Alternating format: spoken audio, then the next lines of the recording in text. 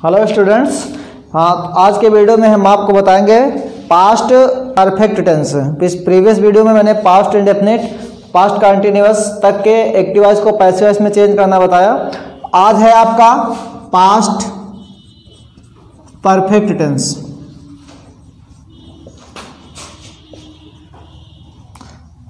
देखिए students past perfect tense के active voice को पैसेज में चेंज करना बहुत ईजी है। बहुत सिंपल है, इसको आप देखेंगे तो बहुत आसानी से आ जाएगा।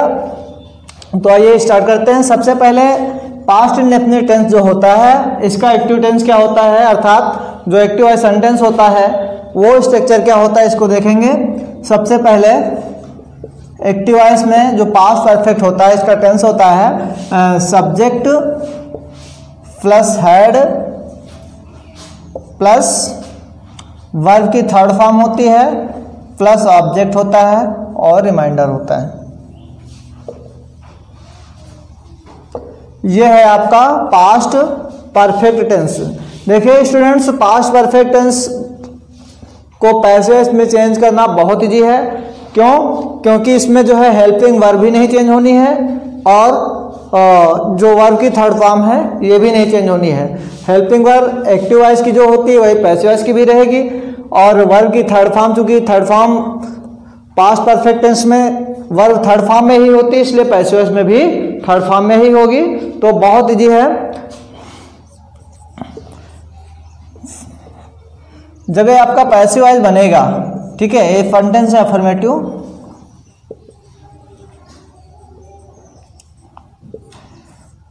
तो आपको सबसे पहले पैसेज में भी सब्जेक्ट लिखना है। ठीक है? उसके बाद में आपको हेल्पिंग वर्ब लिखनी है। हेड या helping verb had plus next word आपको यूज़ करना है बीन उसके बाद में आपको वर्ब की थर्ड फॉर्म जैसी वैसे ही लिखी जाएगी। फिर आपका ऑब्जेक्ट होगा, उसके बाद में रिमाइंडर हो जाएगा। एक चीज़ ध्यान देनी है, जिस तरह से प्रीवियस सेंटेंसेस में अन्य सेंटेंस या अन्य टेंस की एक्टिवाइज को पैसिवाइज में चेंज करते रहे हैं तो इसमें भी आपको एक चीज़ ध्यान देना है कि जो पैसिवाइज होगा, उसमें को जो सब्जेक्ट लिखेंगे, वो एक्टिवाइज का ऑब्जेक्ट होगा। ठीक है? और जो पैसिवाइज में ऑब्जेक्ट लिखेंगे वो एक्टिवाइज का सब्जेक्ट होगा। तो ध्यान दीजिए एग्ज़ाम्पल देखिए।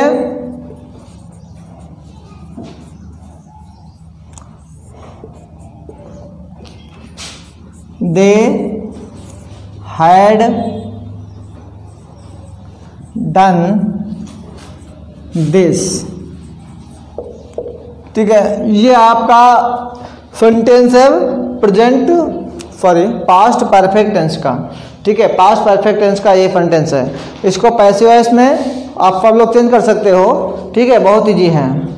तो कितने स्टूडेंट चेंज कर सकते हैं इसमें? देखिए मेरे साथ में आ, ये सब्जेक्ट इसका दे है ऑब्जेक्ट इसका दिस है। ठीक है तो हमको क्या करना है? जो दिस है इसको सब्जेक्ट इधर बना देना है। ठीक है जो दिस है इसको सब्जेक्ट बना देना है। दिस हो जाएगा राइट उसके बाद में हमको यहाँ देखिए स्ट्रक्चर इसके अनुसार लिखना पड़ेगा।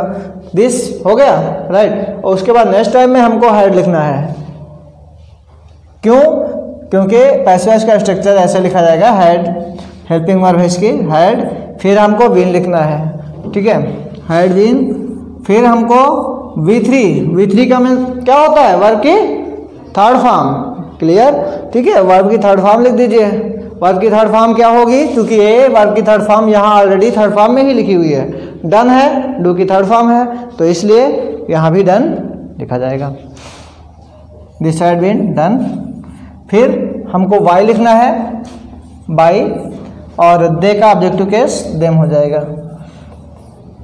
इस स्ट्रक्चर में भी बाई जो है आपको लगाना है। ऑब्जेक्ट से पहले वर्ब की थर्ड फॉर्म के बाद और ऑब्जेक्ट से पहले यहाँ भी बाई लगाना है। हाँ, पैस वैस में इस तरह से अफर्मेटिव सेंटेंस का पैस वैस होता है। एक सेंटेंस और देखिए। We had finished our homework we had finished our homework ये सेंटेंस भी बिल्कुल जो है बहुत ईजी है। हमें एक्टिव और पैसिव एक्टिव को पैसिव में चेंज करने के लिए सब्जेक्ट ऑब्जेक्ट पहले देखना है, फिर वर्ब देखनी है। ठीक है, फिर टेंस देखना है। टेंस कौन सा है? पास्ट परफेक्ट टेंस है। ऑब्जेक्ट इसका क्या है? होमवर्क है। और होमवर्क है। और होमवर्क जो है पैसिव इसका जो ये यहाँ होम अवर होमवर्क जो है पैसिव का ऑब्जेक्ट है। इसलिए पैसिव का सब्जेक्ट हो जाएगा क्योंकि एक्टिवाइज का ऑब्जेक्ट है। अवा होमवर्क वर्ब चूँकि यहाँ थर्ड फॉर्म के साथ में हेड होती है परफेक्ट टेंस में, चाहे इधर सिंगुलर सब्जेक्ट हो या प्यूरल सब्जेक्ट हो, इसको हम हेड ही लिखेंगे। हेड फिर हमें क्या यूज़ करना है? बीन वर्क की थर्ड फॉर्म क्या है? फिनिश्ड जो कि थर्ड फॉर्म में पहले से लिखी हुई है। यहाँ भी कुछ चेंज नहीं करना है। फिनिश्ड फिर बाई लिखना है। बाई और वी का ऑब्जेक्टिव केस क्या होता है? बस तो ये होता है अफर्मेटिव सेंटेंस को। हम पैसे में इस प्रकार से चेंज कर सकते हैं। आ, केवल हमें स्ट्रक्चर पे ध्यान देना है और टेंस को पहचानना है। इसकी हेल्पिंग वर्ब जो है हैड के साथ में थर्ड फॉर्म होती है। ये चेंज नहीं होता है। और उसके बाद में बीन लगा करके जैसे स्ट्रक्चर पहले होता था वैसे ही करना है। इसमें कुछ इसको सही दीजिए आप लोग।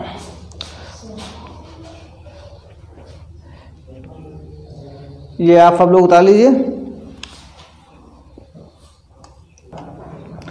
तो आइए देखिए नेक्स्ट वीडियो है निगेटिव सेंटेंस निगेटिव सेंटेंस में आप जो है एक्टिव आइस का स्ट्रक्चर होता है सब्जेक्ट सब्जेक्ट के बाद में हेल्पिंग वर्ब हाइड होती है। उसके बाद में नाट लिखते हैं नाट के बाद में वर्ब की थर्ड फॉर्म होता है और फिर ऑब्जेक्ट प्लस रिमाइंडर ये एक्टिव फॉर्म होता है, ठीक है? पैसिव फॉर्म में बनाने के लिए हम फ़र्स्ट ऑफ़ ऑल सब्जेक्ट लिखते हैं बट आपको ये चीज़ हमेशा ध्यान देनी है, जो यहाँ पर सब्जेक्ट लिखेंगे that will be the object of active voice ये एक्टिव वाइज का ऑब्जेक्ट होगा, अर्थात यहाँ जो सब्जेक्ट है, ये एक्टिव वाइज का ऑब्जेक्ट होगा, ठीक है? उसके बाद में हमें हेल्पिंग वर्ब हाइड लिखनी है फिर वीन लिखना नॉट लिखना है, उसके बाद में बीन फिर वर्ब की थर्ड फॉर्म एक्टिव में भी वही होती पैसिव में भी वही होगी, उसके बाद में बाई फिर ऑब्जेक्ट और ऑब्जेक्ट के बाद में रिमाइंडर होता है, ठीक है? ये एक्टिव वाइज का फॉर्मूला दूसरा है पैसिव वाइज का स्ट्रक्चर है। एग्ज़ाम्पल के माध्यम से देखिए, जैसे है sentence this boy had not eaten this mango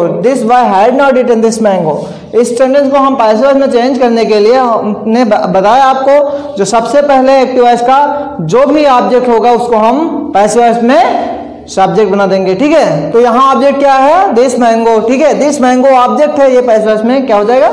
subject हो जाएगा। ठीक है? तो यहाँ सब्जेक्ट बना दीजिए दिस मैंगो को। दिस मैंगो के साथ में हेल्पिंग वर्ब क्योंकि पास्ट परफेक्ट टेंस में पास्ट परफेक्ट टेंस में हेल्पिंग वर्ब चाहे वो सिंगुलर सब्जेक्ट हो, चाहे प्यूरल सब्जेक्ट हो, सबके साथ में क्या होती है? हाइड होती है। ठीक है? क्या होती है? हाइड होती है। तो यहाँ पे सिंगुलर सब्जेक्ट है दिस बॉय अगर प्यूरल भी होता दिस बॉयस तो वहाँ भी हम हाइड ही लिखते और उसके बाद में नाट लगाना है। फिर चूँकि सेंटेंस नेगेटिव इसलिए हम नॉट का प्रयोग करेंगे।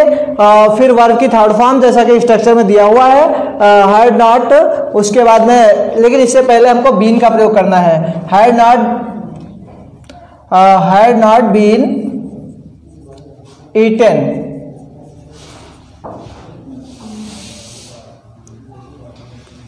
पर ये एक्टिव वॉइस का सेंटेंस है तो इसमें वैसे होगा। This boy had not eaten eaten ठीक है?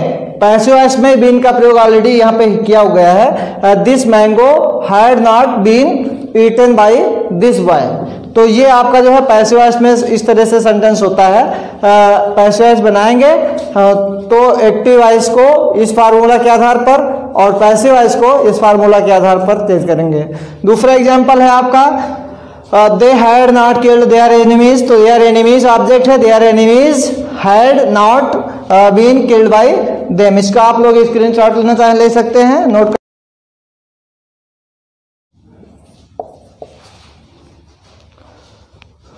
ये इंट्रागेटिव सेंटेंस इंट्रागेटिव सेंटेंस में सबसे पहले हम जो है इंटरेगेटिव सेंटेंस दो प्रकार के होते हैं। पहला होता है जो क्वेश्चन वर्ड से शुरू होते हैं फ़र्स्ट टाइप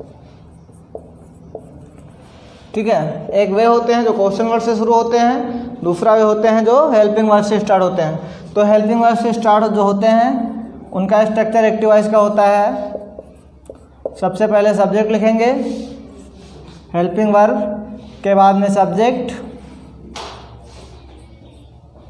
वर्ब की third form plus object plus reminder plus question mark ठीक है? तो ये फार्मूला होता है आपका एक्टिव वाइज का। ये हम पैसे वाइस में जब बनाएँगे तो सबसे पहले लिखेंगे स्ट्रक्चर हेड ही होगा। अर्थात सबसे पहले हम हेड ही लिखेंगे, जो कि इसके एक जल्दी वर्ब या हेल्पिंग वर्ब है। उसके बाद में हमको सब्जेक्ट लिखना होगा। फिर बीन प्लस वर्ब की third form, plus by, plus object, plus reminder, question mark. ठीक है? इस तरीके तरीके से हम जो है एक्टिवाइज को पैसवेस में चेंज कर सकते हैं। एग्जांपल देखिए। Had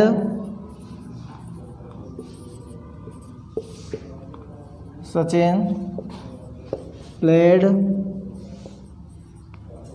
cricket. अब इसमें ध्यान दीजिए सब्जेक्ट सचिन है और वर्ब प्लेड है ऑब्जेक्ट क्रिकेट है, ठीक है? जब पैसिवाइज बनाएँगे तो ये जो क्रिकेट ऑब्जेक्ट है, इसको हम क्या बनाएँगे? सब्जेक्ट होगा तो इसके साथ हेड ठीक है? फिर आपको सब्जेक्ट लिखना लेकिन सब्जेक्ट क्या लिखेंगे? क्रिकेट ठीक है, फिर हमको क्या लिखना है? बीन फिर वर्ब की third form played by object जो है, यहाँ का सब्जेक्ट ऑब्जेक्ट हो जाएगा सचिन। ठीक है नेक्स्ट एग्जांपल और देखिए।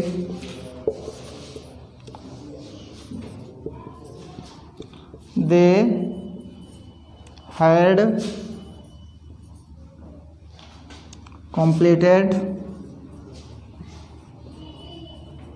their work. तो यहाँ ऑब्जेक्ट देयर वर्क है, इसको भी जो है हैड ये अफर्मेटिव का फंडेंस लिख गया था, इसमें जो है हैड पहले होगा had they completed their work, यहाँ क्वेश्चन मार्क लगेगा। ठीक है तो had their work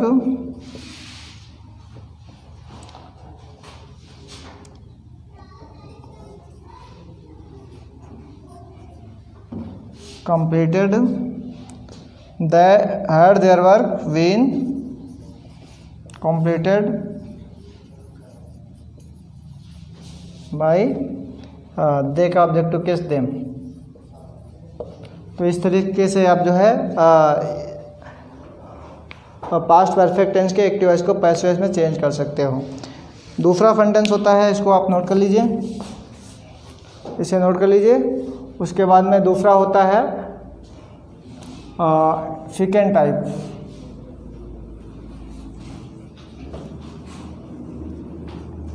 दूसरा प्रकार जो होता है सेकेंड टाइप उसमें जो है क्वेश्चन वर्ड सबसे पहले होता है question word plus had plus subject plus verb की third form plus object plus reminder plus question mark ठीक है, ये होता है एक्टिव वाइज का। जब पैसिव वाइज बनाएँगे इसकी तो वहाँ भी आपको सबसे पहले क्वेश्चन वर्ड लिखना है, उसके बाद में आपको हाइड लिखना है प्लस सब्जेक्ट लिखना है प्लस बीन लिखना है, उसके बाद में वर्ब की थर्ड फॉर्म लिखनी है plus by plus object plus reminder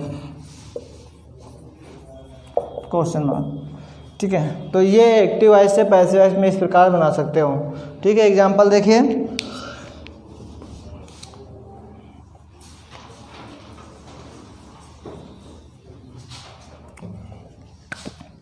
Why had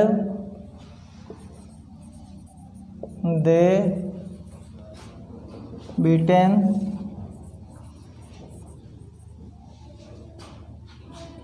beaten their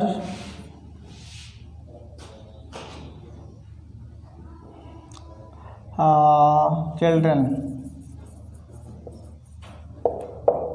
तो देयर चिल्ड्रन ऑब्जेक्ट है। और सेंटेंस का स्ट्रक्चर जो है, वो चेंज नहीं होगा इंट्रागेटिव रहेगा। वाई हैड अब यहाँ से आपको इसे आप ऑब्जेक्ट बनाना है, they are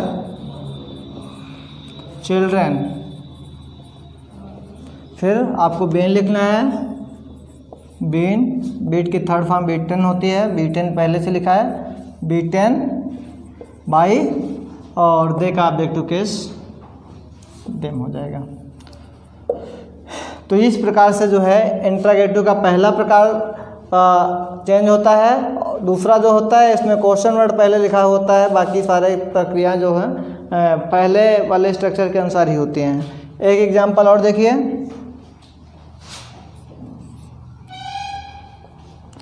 Why had they read new books. इसमें भी सबसे पहले जो है हमको क्वेश्चन वर्ड जो है वही लिखना होगा, वाई। फिर न्यू बुक्स प्लूरल है, फिर भी यहाँ पे हेल्पिंग वर्ब हैड ही रहेगी। हैड न्यू बुक्स बीन और उसके बाद रीड की थर्ड फॉर्म रीड होती है। रीड बाई दे दे का ऑब्जेक्टिव केस क्या हो जाएगा? दे यहाँ सब्जेक्ट के रूप में है तो दे है, और यहाँ ऑब्जेक्ट के रूप में जाएगा तो क्या हो जाएगा? देम तो इस प्रकार से ये पास्ट परफेक्ट टेंस के एक्टिव वॉइस को हम पैसे वॉइस में चेंज कर सकते हैं। अगर अभी तक आपने मेरे चैनल को सब्सक्राइब नहीं किया सब्सक्राइब कीजिए लाइक कीजिए शेयर कीजिए, धन्यवाद।